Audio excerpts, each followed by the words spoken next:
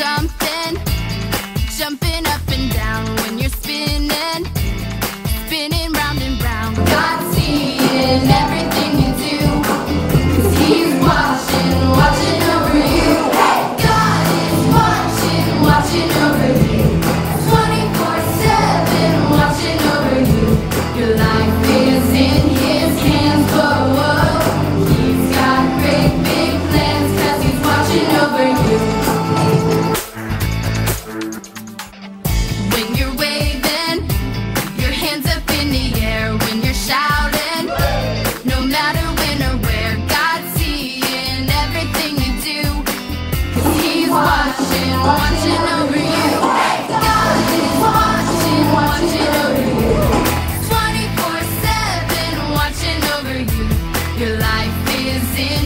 hands, whoa, whoa.